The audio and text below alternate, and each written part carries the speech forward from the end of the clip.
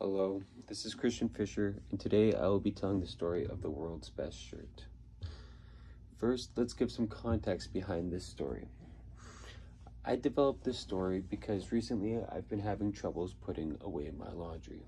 I came up with the solution to make a shirt that does not give off any odors or any stains that might be excreted onto it. This would allow the shirt to not have to be washed as frequently. Let's also give some setting and place for this story before we begin. This story takes place shortly after spring finals. It is a nice warm day.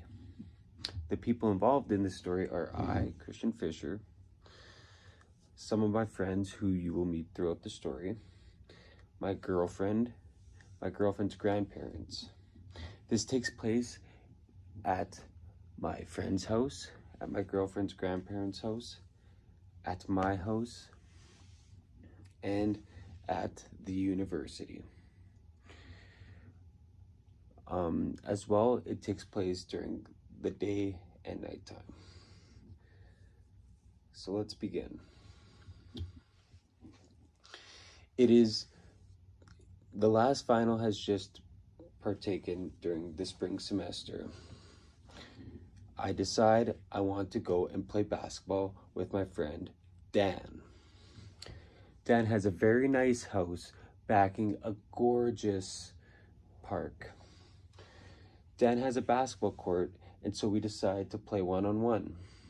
I realize, oh no, all of my clothes are dirty. However, I look around and I find my magic shirt. I put on this shirt, but before before going over to my friend's house, I realize I need to be at my girlfriend's grandparents an hour after playing basketball.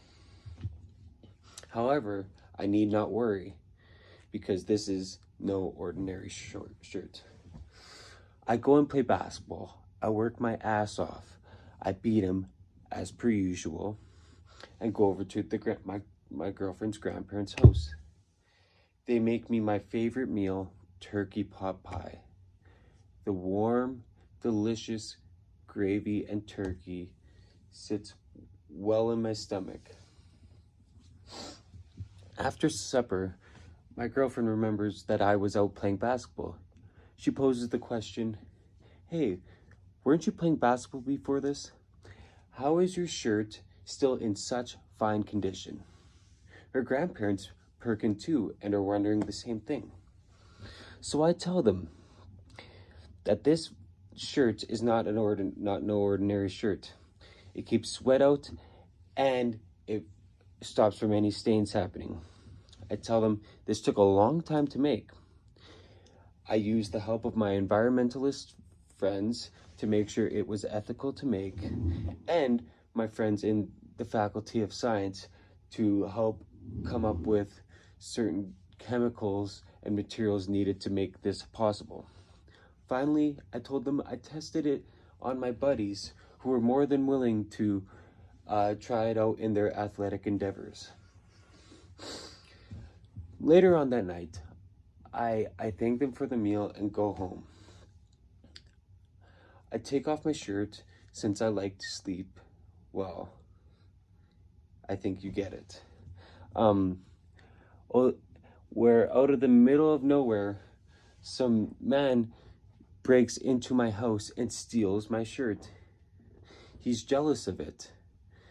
He, he takes it and tries to rip it without realizing, though, that it is made of partially graphene, an extremely durable material.